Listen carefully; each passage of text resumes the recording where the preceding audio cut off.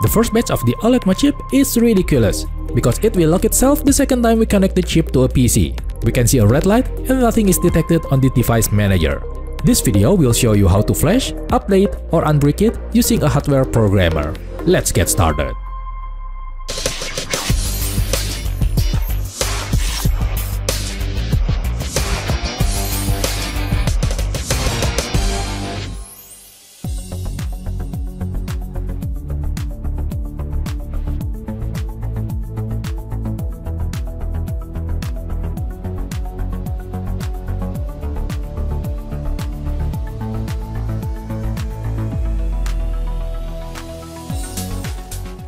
Follow this video, you need to have these items. We need to do another soldering, and unfortunately, we cannot avoid it.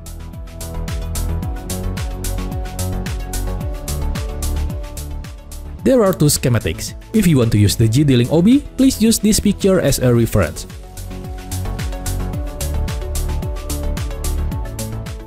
But if you are going to use the ST-Link, please use this as a reference.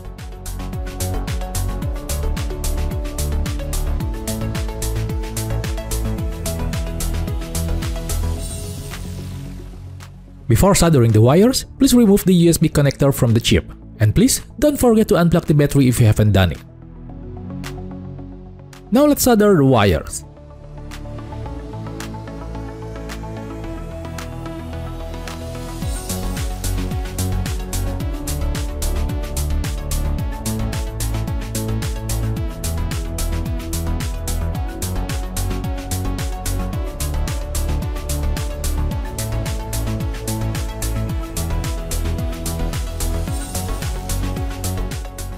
And in the end, it should look like this.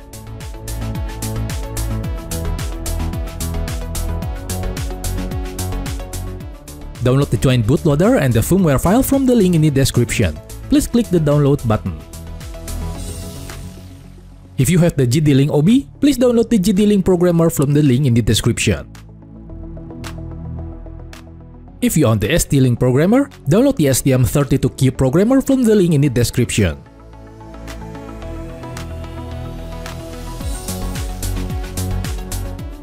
We will flash the chip using the G-D-Link OB for the first option. Connect the wires to the correct port.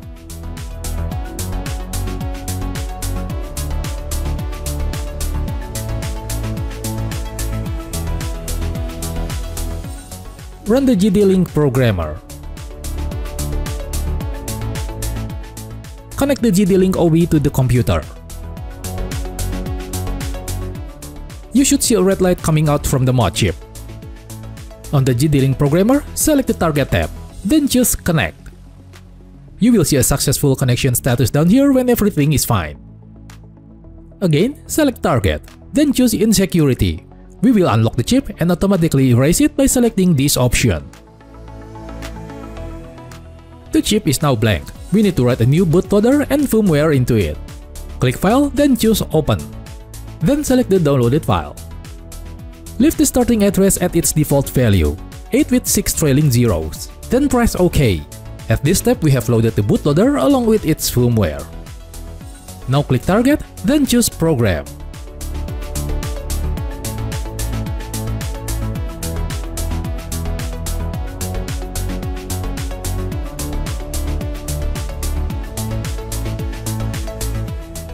Click OK, then disconnect it from the target. And close the G-D-Link programmer. Disconnect the G-D-Link OB, disconnect the wires, and continue to minute 528. We need to retrain the mod chip.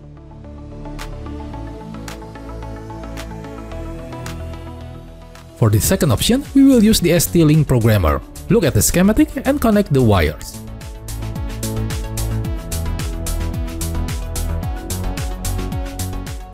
Now open the STM32Cube programmer. Connect the ST-Link to your computer.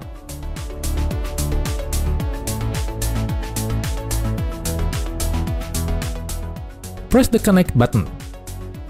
You will see this error notification. It is normal because the chip is locked. Press OK. Now click the OB button. Select without protection and uncheck the RDP option.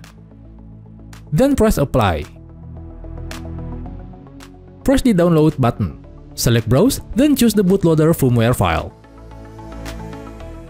Make sure the starting address is the same as the previous method or the same as the top line on the right column. Press Start Programming.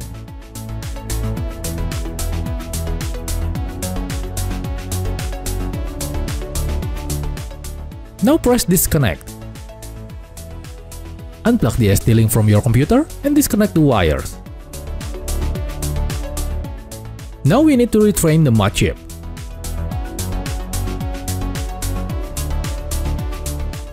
Ensure to remove the microSD card before turning on the console for the training session. And don't forget to replug the battery. Now turn it on. Leave it like this until the LED turns purple, then green.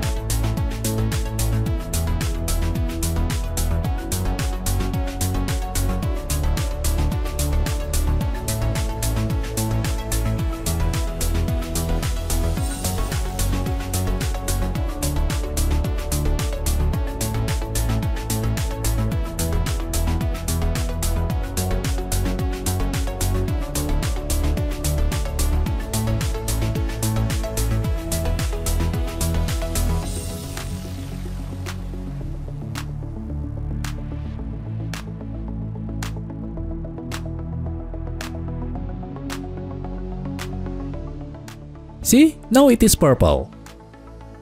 And now it's green.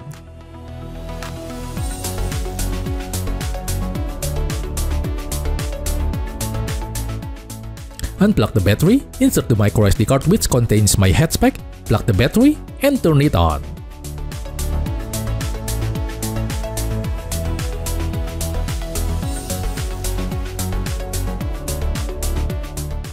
Looking good. So that's how we flash, update, or even unbrick the new OLED chip using a hardware programmer. Thanks for watching this video.